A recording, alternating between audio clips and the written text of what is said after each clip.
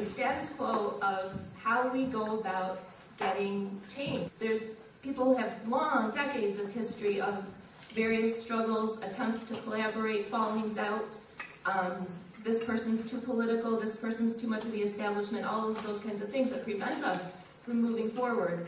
And one of the really amazing, magnificent things about Mayor Duffy's gift to us with this issue is the, the people around the table that have come together, the new people I've met who are so brilliant, so articulate, so passionate, that are at this table. And if we can stay at this table, and if all of you, all of the people in the community can come to that table at some level, and if we can expand it and reach out, we can make some really progressive change.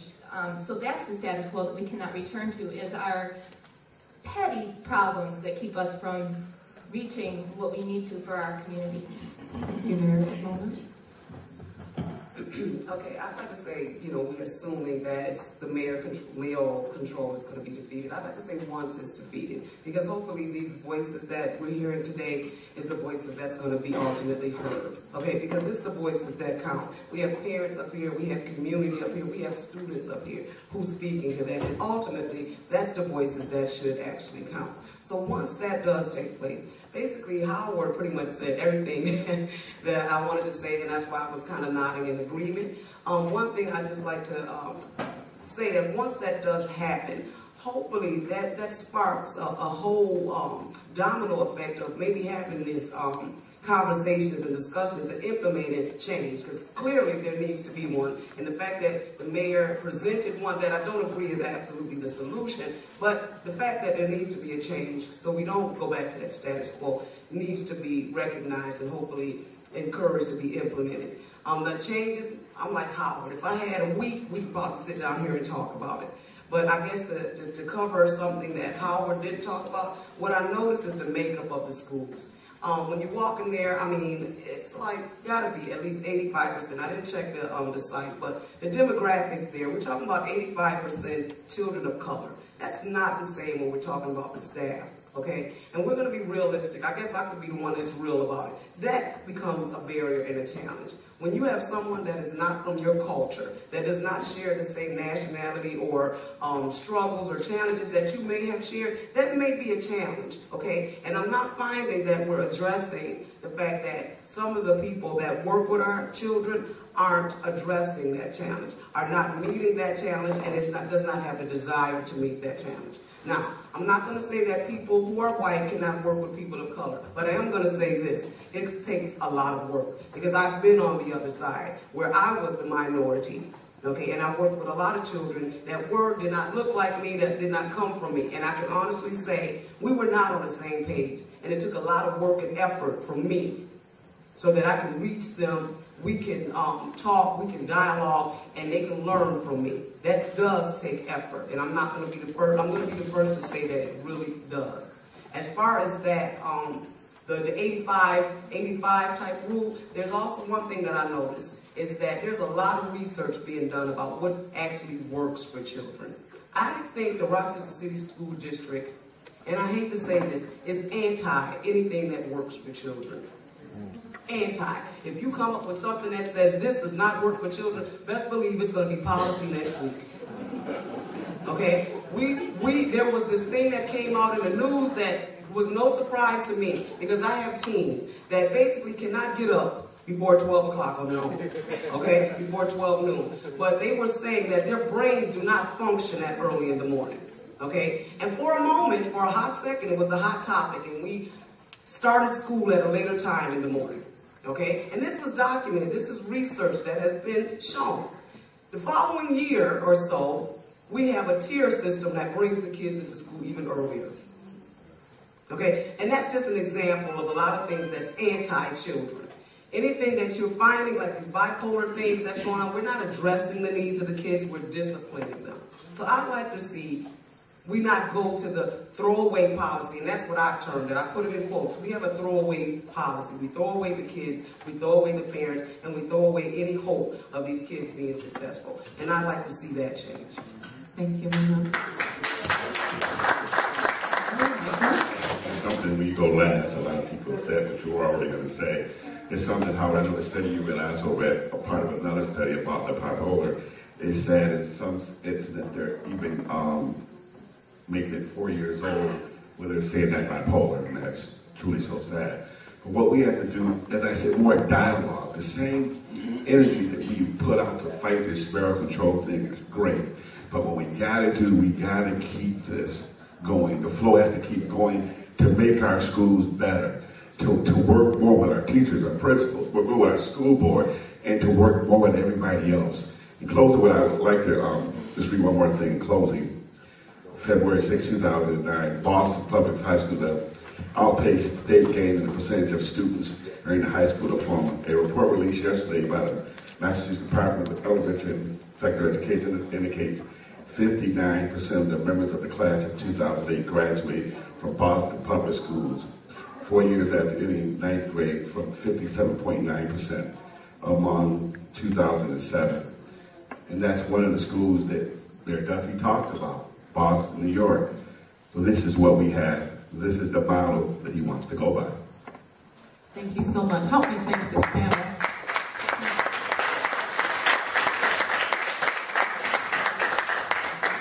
And now it's your turn to participate. You've heard their perspectives. You've heard them weigh in on what they think and feel about this issue. And so um, I'm going to set this mic here in the middle and invite you to um, line up if you have a question, a comment for the panel. And I would ask that you um, say who it is you would like to answer your question. Thank you. Thank you guys for being here and right up to you. I got a question. My question is, I keep hearing this word, this word I keep hearing is accountability. Um, the mayor says, of all the things the guy presented, he can be held accountable for all that. Um, meaning that, that what I'm thinking is that, he said if that, if these things are broken any kind of way, can him claiming that he will be accountable, that the buck will stop with him, I have a question. Where's the plan?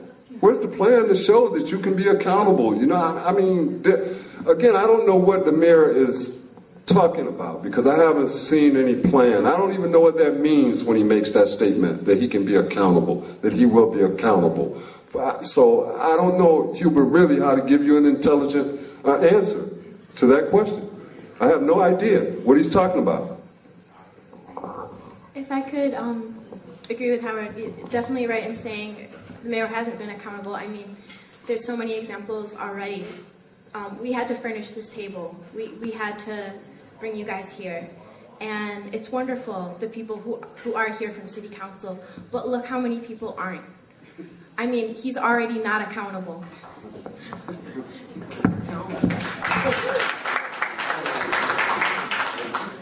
Hello, uh, Sha- Shaugi Tel, Nazareth College. First of all, I want to thank all the organizers for putting together this important event. I think it's uh, a key way to continue to raise the consciousness and organization in the community. Uh, the main, I, I guess the main point I want to make is, if I'm not mistaken, the mayor recently announced that he's going to put off uh, trying to seize the school district till June 2011. Um, I do like to think that part of that is, is, is a result of our efforts. Uh, but, but I also want to caution everybody not to let your guard down for a single second. And that the battle for control of City School District is by no means over. I think the mayor and his cheerleaders are making a calculation that we are going to wane, wither, fall asleep, lose interest, lose momentum. And I think we need to actually do the opposite and step it up and keep the resistance to this, um, to this uh, effort to seize control of the city schools and violate basic constitutional rights. We need to keep this effort alive. So a year is kind of a long way away. It's easy for some movements to lose steam, to wither, and all this sort of thing. So we need to be very vigilant and organized. And the last comment I want to make is this notion about failure and the failure of the schools. Yeah, of course the schools are failing, but folks, the entire society is failing. The entire economy is failing. The entire political system is failing. You're not going to have schools flourish when the entire society is failing. Mayors everywhere are failing. Governors everywhere are failing. Even presidents are failing. But very few people say, okay, well, let's uh, throw them in the trash bin of history. So let's keep our eye on the ball in terms of keeping the resistance going because I think the calculation is they want us to go away, and, and I don't think we should go away.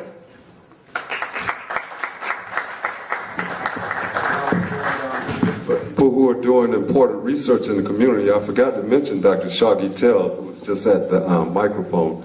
He's another person who's doing valuable research uh, in this community. And I think they also are waiting for these elections to be over before they continue the next episode of their attempted coup. Uh, oh, excuse me. I just wanted to address that gentleman's statement. It wasn't about seizing in um, 2011. What basically the legislation says is that he could take control into 2011 if he was given that. It wasn't about giving up into 2011. That that's as soon as it could take place was 2011. Uh, good evening. First of all, congratulations to the uh, uh, committee panel to bring this matter even closer to the public's attention. I want to share something with you. Some of you mentioned before systems are the issue. That's true in this building right here, this is a $40 million building. I opened this building. A $40 million building, first principal here. Let me tell you something. I can read blueprints. I was reading the blueprints when we were just putting this building together. There was a padded room on the drawing board for this school. A padded room. So I asked the architect, what's up with this padded room? He said this. We were told to put this room in here so when kids get out of hand, you put them in there so they won't hurt themselves or somebody else. I said, how many other schools have a padded room? They said, none. I said, we're not putting one in here either.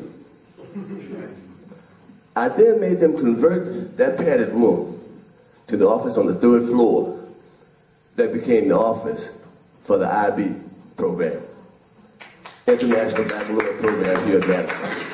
That's what you're fighting. Something else about systems. You wonder why the kids are going around in circles? The city gives Rochester $119 million. The operating budget is $700 million. Where does the other 600 million come from? Grants, governmental entities, etc. They come with the floor and the ceiling. First of all, you gotta be on the floor to get the money. And if staff gets the students up, you lose the money.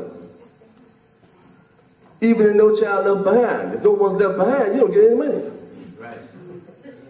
And the moment nobody is left behind, you lose all your money. That's what's happening to our kids. It's not that our kids can't learn. It's not that our kids cannot learn. What we have better use our time doing, getting with our lawmakers, our congressmen, our senators, we want you to send can-do money to the school system. If you get them up, we're going to keep them up. That's the kind of money you need. And until you change that formula, you're going to always be starting over. You can't win a race if you're always going back to the starting gate.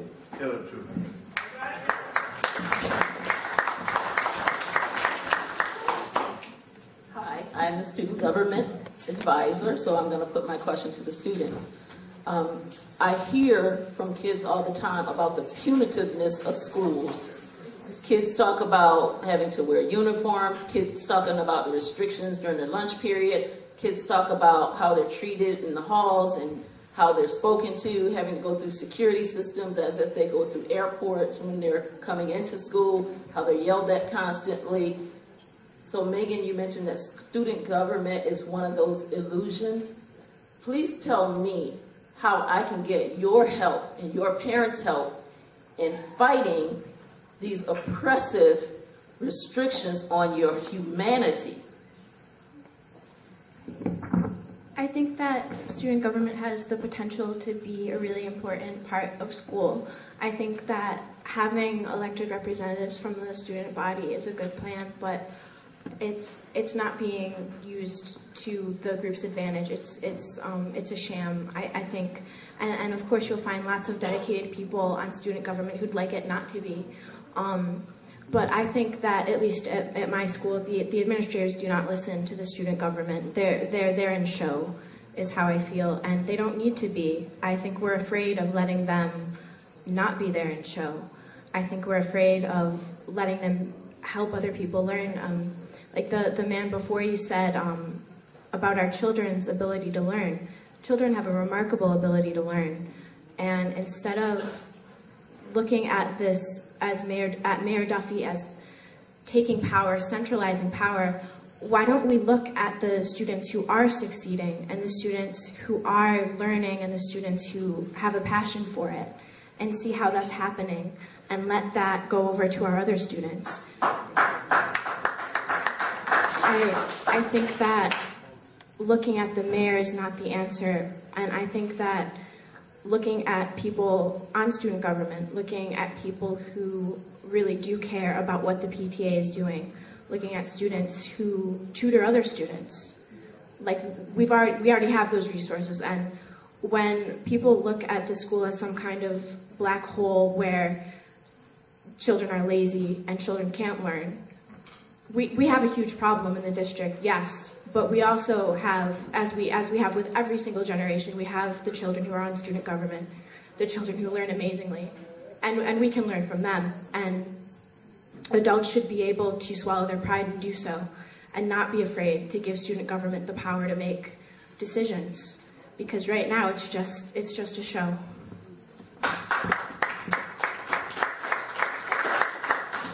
My name is uh, Ricardo Adams. I'm a painter. I ain't even gonna talk about uh, Mayor Duffy, my position. Ain't nobody in the country right now got a solution to this education problem where they're gonna get a Nobel Peace Prize, for real. Somebody will be here giving that to them. But my uh, thing to you is my challenge to everybody up here, man, is we ain't talking about the um, elephant in the room. Uh, we say they're gonna eliminate parent involvement. We need to increase parent involvement. I go to a lot of meetings in the school boards and our parents are missing. And that's not just our parents' fault. That's the kids' fault because I got three kids and I don't think they're any more special than anybody else's kids. My kids are manipulative, manipulative and they can get they can get things done. They can like if they want to make me go to a school board or whatever, kids are amazing. I mean, some of them, they, they're and the kids today are the same way. Some of them are so rude and blunt, they just make their parents go. Others use the kind game. My daughters tell me, uh, when I tell them no, they say they just want to be happy. Then the guilt trip makes me give them what they want. Whatever the students got to do, you got to get, you got to say, man, I got to get my parents involved, man. Um, the, the politicians, the school boards, when they see some new faces, some new parents, numbers, that's what they respect. They don't respect care nothing about me because they see me all the time. I'm challenging you up there, students, man, get your parents to the meeting. Maybe not, not just you, your friends. I've been to the meetings, man.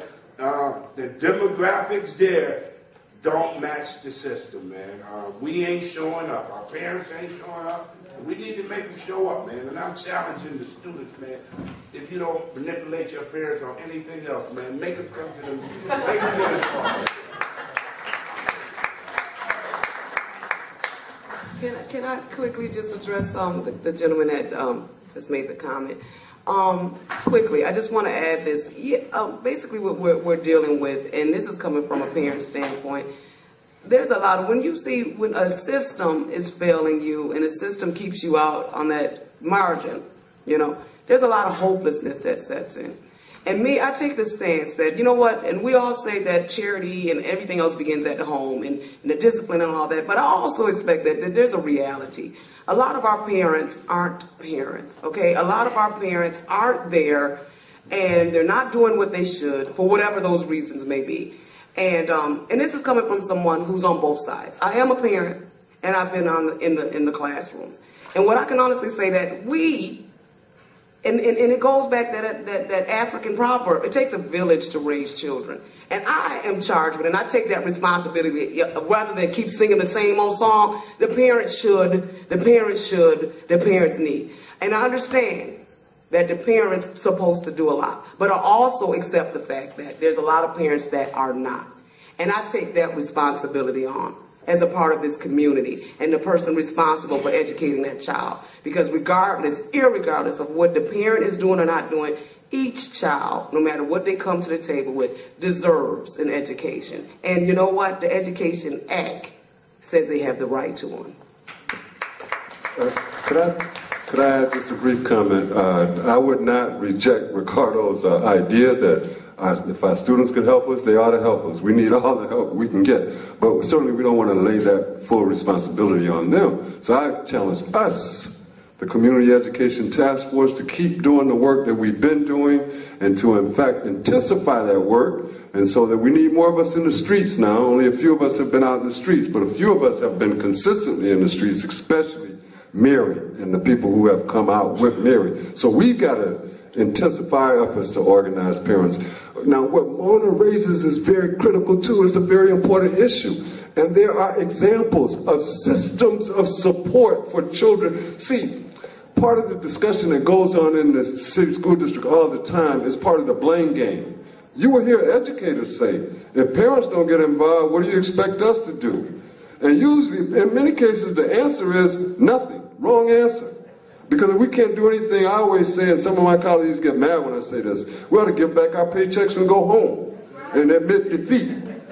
So there is something we can do collectively, and there can be systems put in place. I've been talking for Dr. Ray knows for 20 years. I've been talking about a little thin book called The Hare Plan, written by Nathan and Julia Hare, in which they lay out a comprehensive system of support, especially for the children whose homes are, I don't like the word, but are dysfunctional and so forth, where parents are not involved. And so we can't take the attitude that we can't do anything. We must do something.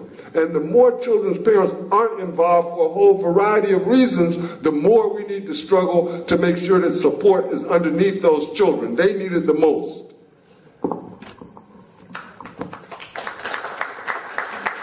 Good evening. My name is Glenn Harris, and uh, I am a retired physical district teacher. I've lived in this community for 30 some odd years. I came from Hattiesburg, Mississippi. And I'm very embarrassed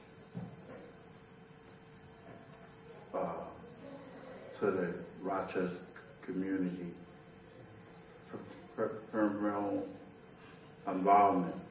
What I'm saying is that I am an advocate of getting parents to get get their rights back.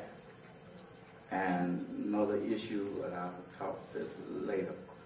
Um, know, just excuse me because I had a stroke recently. Anyhow, uh, I'm embarrassed because I go to the schools, particularly with our male youth issues. They're wearing their pants on their butts. Mm-hmm. There's no school code. You got right there in the front security guard having black males coming here with their pants down and not learning nothing. And you wonder why they go to jail, okay? And it, it's appalling to me that black people are miseducating their own children. And they don't want, they want, they don't want to blame themselves.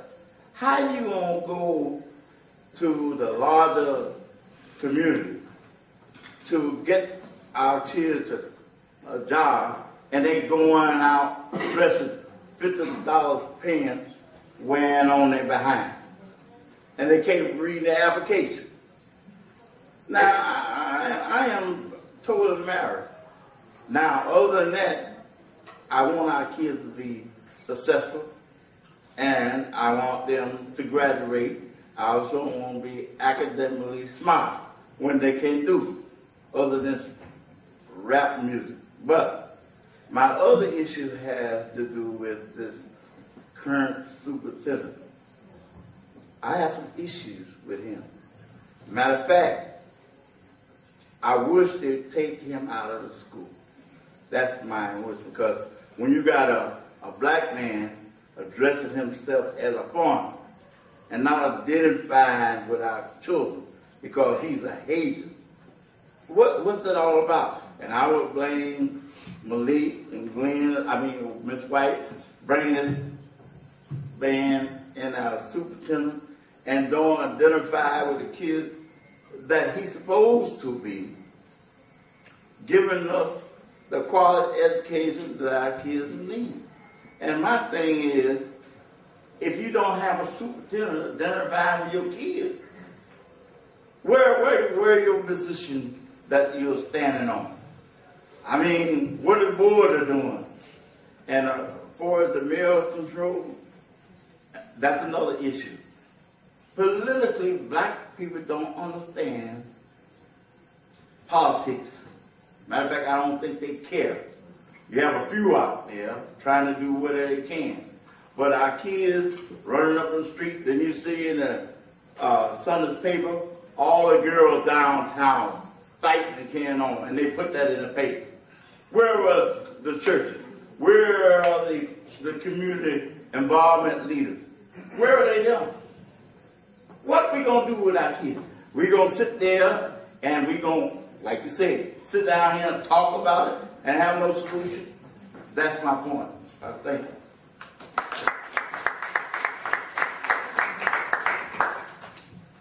Charlie, can I say something? I, I don't, I haven't said anything um, publicly against Superintendent Brizard, and I'm not necessarily saying anything publicly against him now.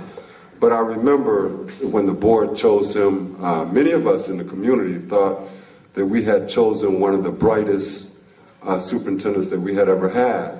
And I still think he's bright. He's intelligent, he knows education and so forth. But I, I must say now, and if there is any relationship, uh, Superintendent Brizard and I have any relationship, if this, uh, if this uh, changes our relationship, so be it. What has become clear now is that Superintendent Brizard is supportive of the privatization agenda. And that's a problem.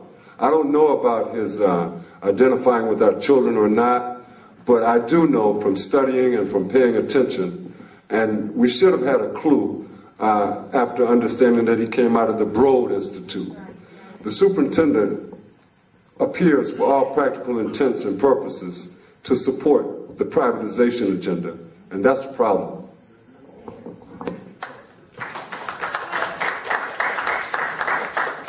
My name is Charlie Richardson, and a member of AQE, which is Alliance Quality Education. Been to Albany a good many times to get extra money for the district. They have wasted. Uh, the problem is with the schools right today, and it's a ground floor, it needs to be done, is the youth. I would say other than Megan, the other three, your teachers don't know what you want to do in the future. You don't have guidance counselors that are guidance counselors. You have guidance counselors that are disciplinarians. And you have principals and vice principals, and many of them is disciplinarians. Where if they want to correct this, okay, want to correct this, ask the students. What is it that they need in their schools?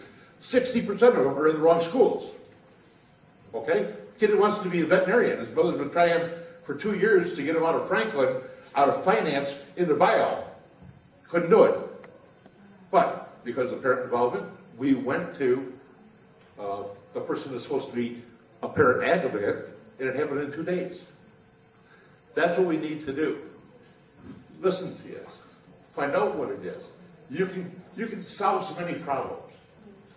You really can. And you get the first-hand knowledge. And that's what we've got to do.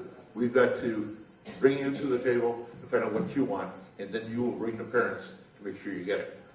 But one thing I want to say is this Title I money. A lot of people don't even know. Does everybody know what it is?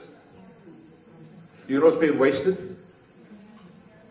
Okay? It's a slush fund for principals in all of our schools. It's a slush fund. Maybe not all. There's some good, good schools. But the thing is, that money is supposed to be out here in front to help us that know about education to get the parents engaged and bring them in.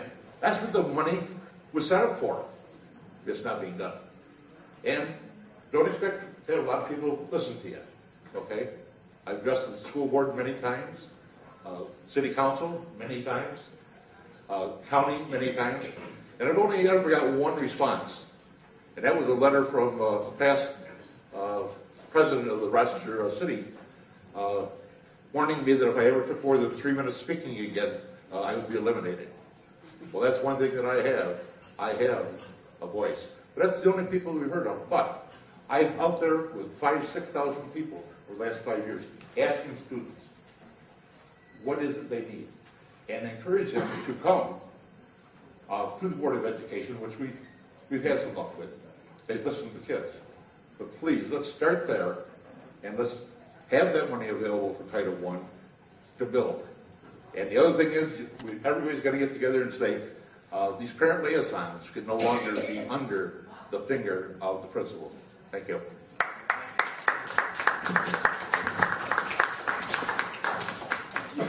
You, um, you asked a few times, what does it do the students need?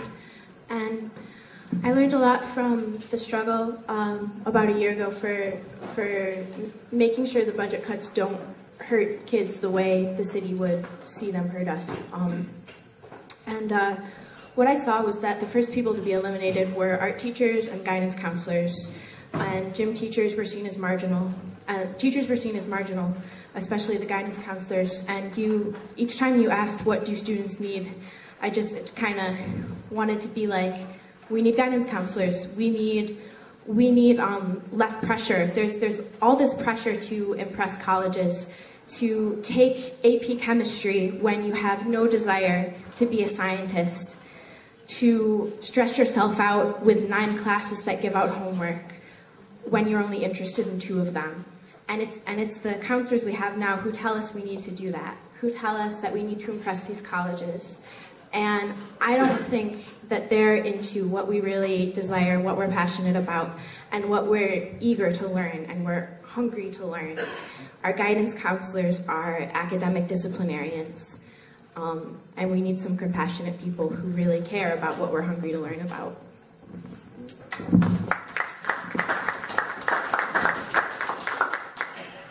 I'm so glad you invited us too. Uh, my name is Ed Vesneski. I'm a resident of Rochester. I'm a former teacher.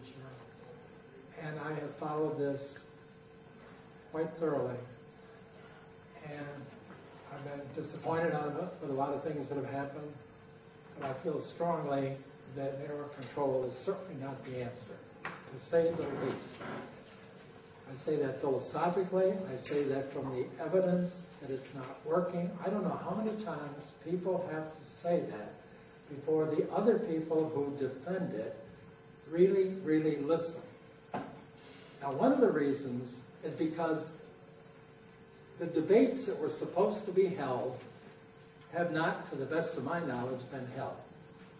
And I'm waiting still for the mayor to have what I would consider to be a debate, would be it with Dr. Calla or other people. I've attended a lot of these functions. I've, I'm free, I feel comfortable making a statement.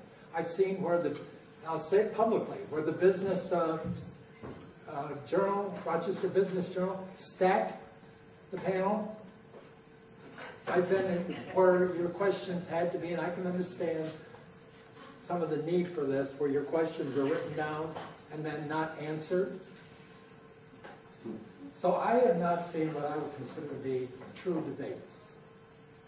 On the macro level, it doesn't work. The only places that you see it, first of all, there's only a handful. Strong mayors. If Mayor Daley wanted to have the Sears Tower turned upside down, it would happen tomorrow. And in New York, sure, he can get, I'll run another term. I'll buy my way into that one. And so these are the kinds of people that you have doing it. For control, for this and that. You got the people who can't wait to get their teeth into it with the money, so you privatize education and this and that. That's scary. That is scary.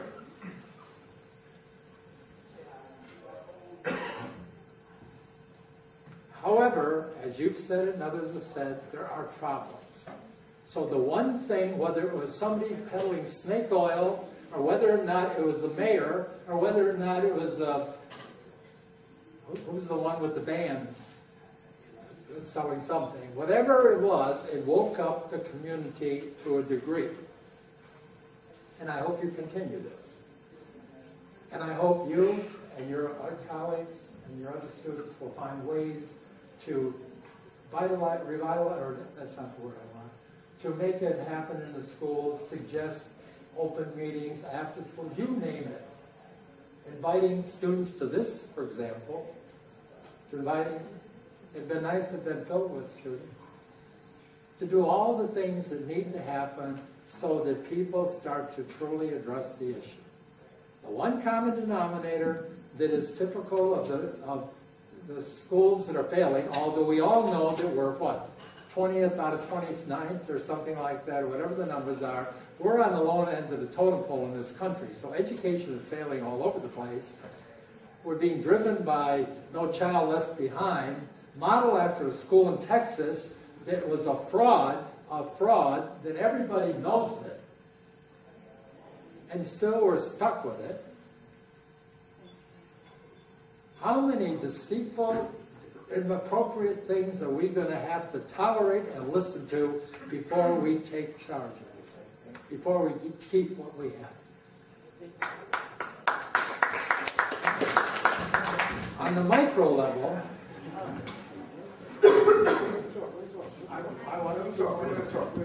on the micro level, look at the situation. I did ask the mayor on paper whether or not he intends to finish up his term and whether he's going to run again because he's asking for five years to do something. And I said, are you going to do that with the idea in mind that maybe Albany is calling or whatever, okay? And I didn't get an answer. I didn't get an answer. When you have some, when you have a situation where somebody may or may not be around, when you're going to have new mayors, when you're going to have this, the only reason that the cards haven't collapsed more so in these towns is because the mayor has been there in New York for eight years, and, and Chicago, he owns it, etc., etc., etc., because as soon as they drop the ball, how the hell are you going to put Humpty Dumpty back together again after you have torn it apart and turned it upside down? I would, uh, being a mayor and a city council member is a full, full job. I say that with most respect. And I want my mayor to do what the mayor's supposed to do. Revitalize the city, bring jobs into town, do this, do that. Don't tell me totally about crime going down because it's going down all over the country. Do what the job was supposed to do, is supposed to do, and let other people do their job. And get industry involved because when I ask the questions of industry, I ran an internship program. When I asked the business people, I don't want to hear about some token thing that two or three of them are doing some song and dance so it makes everybody happy.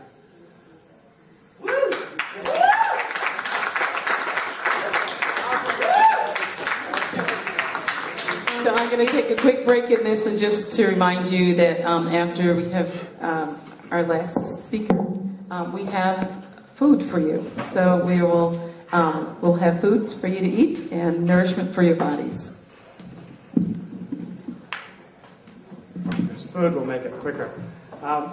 I want to. Okay, This is. Um, I would like to make a comment about the gentleman that just said something. We have a problem, and some people just want to complain about it but don't fix it. And people are disappointed, but they don't try to do anything to fix that either. And um, being a student at Wilson Foundation Academy, I've seen kids that are, are um, walking down the halls thinking they're all that and worry about what everybody else says. And um, students are just complaining and complaining. Some people do stuff about it, but they try to not say nothing because they're afraid of what people might think. And honestly, I don't really like how people treat other people because of how they can't express what they mean. and they can't express how they feel about certain things. And it's not fair to not have your words spoken and be able to express yourself. And this is the reason why, this is one of the reasons why we come to school to learn, to sometimes make friends, but to get, mostly get our education and to speak out of things that we know we can't talk about at home. So, there you go. I think that um, what you're saying about students um, is, is really important, and I think that if our if our administrators weren't um, disciplinarians, and, and if we saw a really respectful resolution of conflict, which I, I do not see at high school, it's it's appalling. When there's a problem with a student, the, the resolution of it is not is not admirable. It's um, it's something you wish to be over as quickly as possible. And I think if our administrators set an example, our students would totally take that on. I, I think if it was if it was made it admirable to be respectful and solve conflicts the way I know children would. If they had an example, I know children would solve the conflicts that way. We would be able to move forward, but our administrators, for goodness sake, they make fun of us. Um, that's how they get attention. I, I was at an assembly, um, a little address before prom, telling us that we weren't allowed to drink before, during, or after prom. And um, a friend of mine got up because he wasn't going to prom, and the the administrator running, running the assembly said to him, "What's wrong with your feet, boy?" And I think the reason he did that was to gain some respect from the students, was to show the students that he could burn just like they could. And I think that's pretty disgusting to need to gain people's attention by burning somebody. And I'm seeing a pattern of administrators doing exactly what they try and tell us not to do. They don't solve things respectfully, they don't listen, they don't hear the other sides, and they don't remain calm. And if they did, if they were admirable in that respect, students would take it in. They'd be hungry for it. They would resolve things in a very inspirational way. Uh, just, just real briefly, uh, Ed had mentioned Chicago uh, and Mayor Daley. Mayor Daley was given uh, more power and authority in terms of mayoral control than just about any mayor in this country. I remember um, uh, Bill Johnson, the former mayor of Rochester, uh, when he was on WXXI being interviewed back in February, talking about uh, when he was mayor, he had considered uh, the possibility of trying to move toward mayoral control. And he said Mayor Daley was one of the people he called. And he said after talking to Mayor Daley and understanding the trials and tribulations of what they were going through in Chicago, he came to the conclusion, Mayor Johnson did, that it would be logistically impossible to take a $700 million organization and fold it into the city as a department. And so um, what he has said, these are his words, he believes that the mayor is biting off more than he can chew.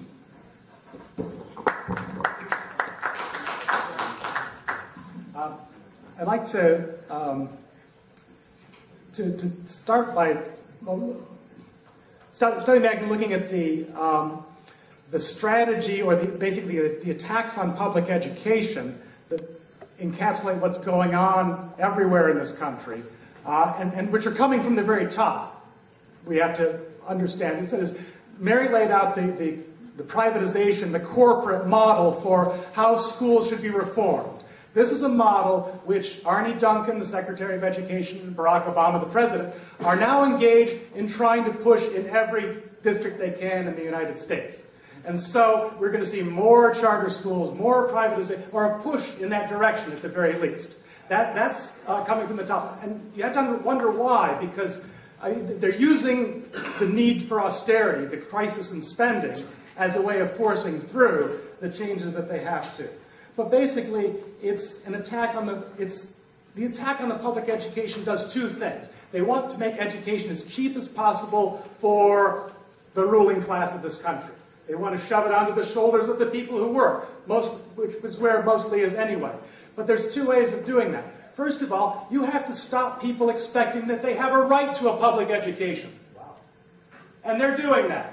They're doing that consistently by running down the, public, the system of public, public education and prioritizing the market as the possibility. It's not just that schools will be privatized and private entrepreneurs will make profits off of the education system. It's also that public schools are supposed to compete with these private schools.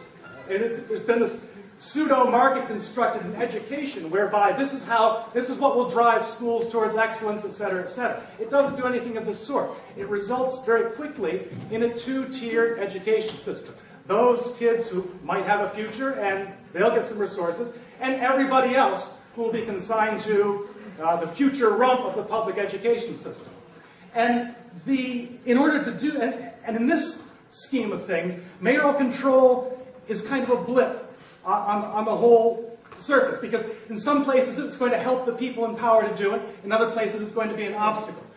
And, and it may play out all sorts of ways even here in Rochester. But imposing this program in Rochester and everywhere else means that they have to do two things from the top. They have to separate two groups of workers. The first group are the people who work in the schools, the teachers, the staff, counselors, and so on. And they are the ones in the direct line of fire for attack. Their unions, their contracts, their agreements, their past their schools will be closed down, open as charters without a union, without representation. And so they are trying to hold the line and, and very much under attack. The other group of workers is more long-term, but the rundown of public education is really meant to affect them the most. That is, ordinary working people who should learn that they have nothing to ask from this system, basically. That you are in it for what you can buy or whatever. Public education, one of the great fundamental reforms that have been won by working people, is now on the shopping block, and we have to understand that that is exactly what's at stake. So my question really is, and, and so, so you've got these two groups of workers, workers in the schools and the workers in the neighborhoods whose children go to the schools. The working people who basically are the parents and, and the families of the students playing these two groups of workers off each other, getting them to blame one another, is central to the possibility of being able to smoothly push down the corporate model of public education. I would argue the, the task of, of, of real education reformers and activists like us is to make sure that those two groups of workers are not opposed to each other. That in fact, they see solidarity in standing up for each other. Right now, we have the workers in schools and the unions.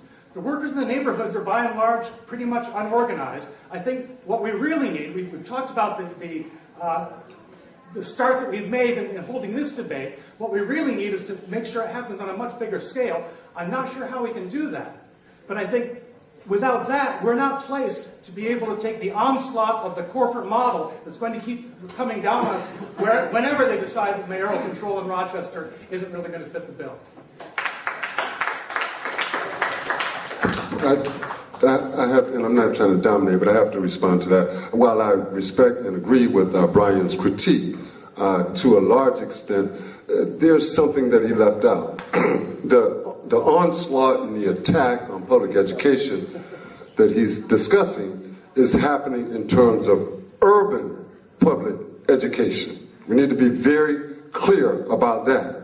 It's not happening in terms of suburban, and that's not to say that it won't, but it's not right now. So we need to be uh, clear about that. I, I, I do agree in terms of the need for solidarity between the working working class who are entrusted with the development of our children and the general working class, the parents and the community that produces those children. And historically, that has been an antagonistic relationship, especially since the time of integration.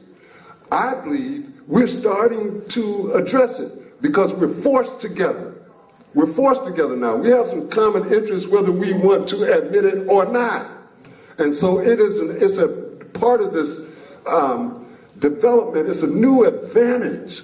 And so we do have to be mindful of it and, and really um, work to bring people together who have not historically work closely together. It's an opportunity. And so you see, and I'm gonna, and I'm not saying this because you came in, Dr. Urbanski, I did save this comment because I wanted you to hear it. There's some criticism of people like me in the community now. Because people know that when I was a teacher in the Rochester City School District for 23 years, I was one of, I was a strong critic of our union. Sometimes, and I still would be if it's wrong, but also when it's right, I'll stand with it, just as I would stand with any other entity that is right and that I believe has the best interest of our children at heart. And certainly around this issue, there's no doubt in my mind at this point that RTA has the best interest of our children at heart. And so we're sort of we're we're sort of natural allies, if you will.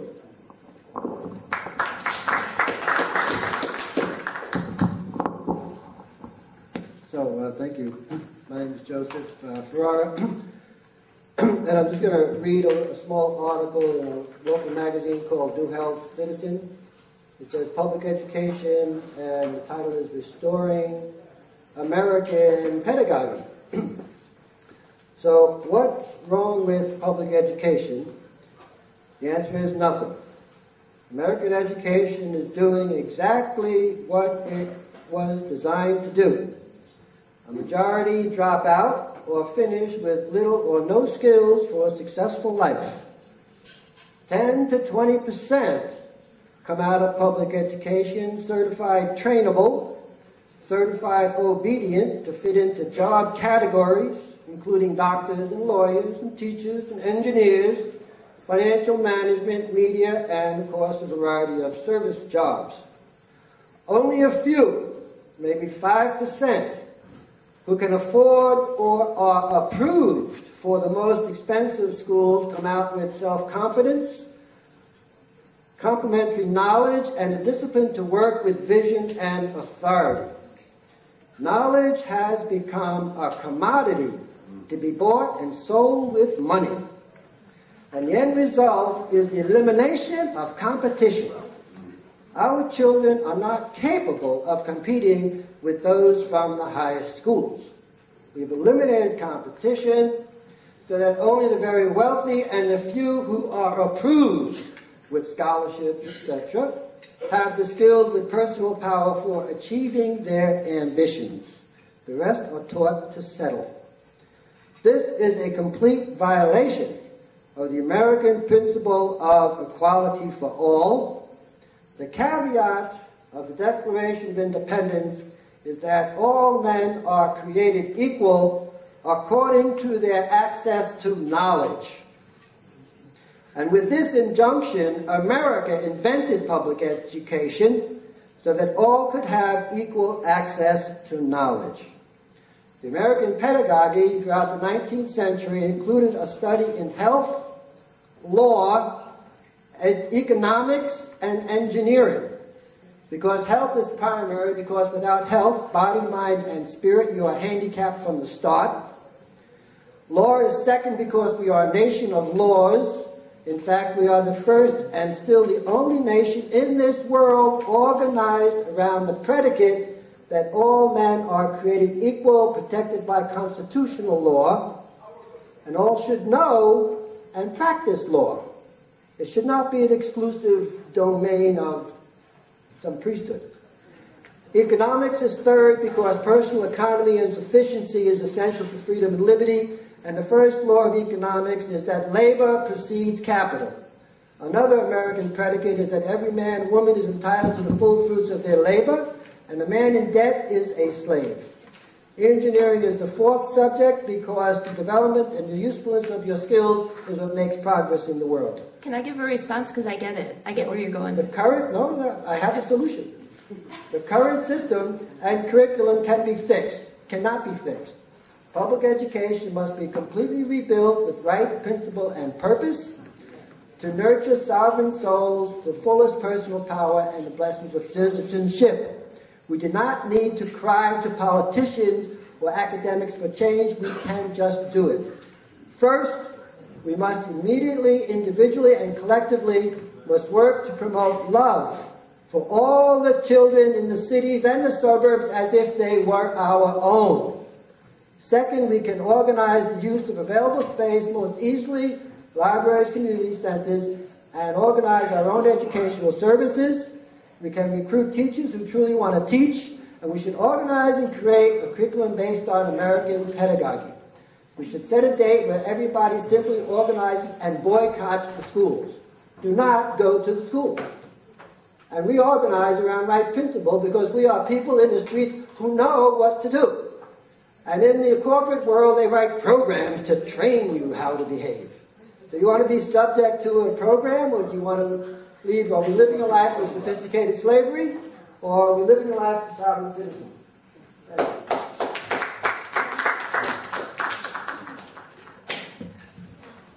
So I would just, I, I just want to agree that throughout throughout our history, education has been oftentimes a tool of oppressive, oppressing groups, and that um, you know it has reflected the inequalities in society and has been used for the interests of small, you know, groups of, of ruling, powerful people to, to keep other people down. But it's also no coincidence that when we were talking about, you know, vote, voting rights not being an abstraction and the, the um, sacrifices that people made for voting rights, that during that same period, it's not a coincidence that the, that's when the freedom schools were also organized, right? And so now we see members of our movement who are from the Freedom School here in Rochester. So you can see that there are people taking the interest of transformative education, the interest of freedom, the interest of moving beyond these oppressive um, historical trends and, and making it real. So, you know, I think that's a really good point that, that you brought up, and I think we should, we should take that on. Hi, everybody. I'm Jennifer Bannister. I'm with uh, Teen Empowerment. um, I, Mary said earlier that this has been, uh, I think it was Mary, uh, this moment for people to really give attention to educational reform. And, um, and so I want to kind of get to strategy. I've, like, there's a lot of ideas about what can happen, but then how to make those happen. And so this could be something that could be answered now, or maybe it's just a larger conversation that needs to be happening. Um, and it's made with the assumption that we all have some self-reflecting to do and something to take responsibility for. Um, so the mayor has shared that uh, the reason that he feels so compelled to do this at this moment is that he's been to plenty of committee meetings and lots of um, efforts to make changes and that nothing really has happened and that, so that this is an opportunity to uh, have somebody have uh, know, an ability to say what's got to happen and push it down the line. Um, Van White actually then made a point at one of the debates that actually there's been a lot of incremental changes happening and laid some of those out. Um, and, uh, and the school board has you know, approved Brizard's plan. Um, so there's these kinds of um, things in the context of also major budget cuts throughout the country and the state. Um, the, the competition throughout uh, the country for states to win race to the top monies, which is that Arne Duncan stuff. So that's the context I think we're in, as well as the, the union really trying to um, figure out, like, I mean, I guess what I would say is that our, our teachers' unions are under attack across, across the country and uh, in general. And so a lot of times when that happens, um, people, unions or any group can entrench themselves, or they could get creative and innovative. So there's, there's different opportunities. So I guess the question is, um, given what Mary said about our petty infighting that we sometimes go through as a community, territorialism, uh, whatever, uh, Mona pointed out that it's really hard to get RCSD to do innovative, effective things. And I know from as a community organization, I hear it all the time from uh, our, our partner programs that RCSD, it's really hard to get them to collaborate well with community programs. Um, so what what is the strategy to make things happen proactively now? All those changes that parents, students, community wants, knows have to happen, and maybe there's been some roadblocks along the way. I guess. What's the alternative? From our perspective, since this, uh, I'm going to call it what it is, coup, was announced in December uh, 2009 the, at the height of the Christmas shopping season when people weren't paying attention. We have started to organize and we have put together, Jennifer, the Community Education Task Force which is composed of 15 grassroots organizations. It's the largest, uh, uh, in terms of breadth, uh, most, most uh, diverse, if you will, uh, coalition that I've seen in this community since. The last time I saw, I've seen, the last time I saw anything that resembled this was uh, back in the 80s when um, uh, Jim McCullough's uh, late daughter, uh, Alicia McCullough, was, was uh, killed by a police officer. That's the last time I saw anything that resembled this. And it's been together since January. We formed it in January. We've met every Wednesday, haven't missed a Wednesday. We've been in the streets, knocking on doors. That's why we know the heartbeat of the community. That's why we're so certain that the vast majority of the people in this community do not support this. We have, um, I already mentioned, alliances uh, with others who take the same position that we do, and we're going to build on those. So in terms of a strategy, the part of your question about a strategy, we believe that this is it. We believe that this is the strategy and that we need to, and hopefully some of you will join us after the night. We meet at 630 North Goodman Street every Wednesday evening at 5.30 p.m. We want to build a movement is what's going to be necessary in order to produce the kind of widespread fundamental uh, change and progress uh, sustainable change and progress that our children and our families so richly deserve. We're going to need a movement. And we think we're pretty, I, I, I won't say far down the road, but we've started to do that. And we're going to continue to do that work, and we hope you and Teen Empowerment and others will join uh, in with us uh, to, do, to, to do that work. We have to really uh, do some door-to-door organizing in terms of parents and community. I'm convinced that we'll never see the kind of uh, broad, uh, fundamental